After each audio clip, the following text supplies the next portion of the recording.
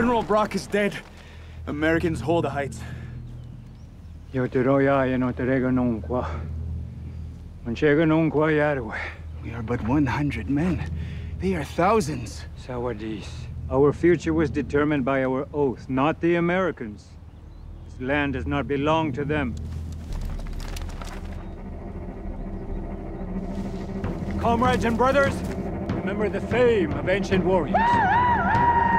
Let not their numbers frighten you.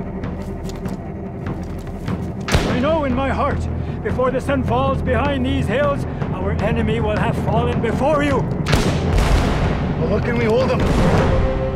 At the Battle of Queenston Heights, 80 Grand River warriors, including John Norton and John Brant, held off the Americans for hours to help take back the heights.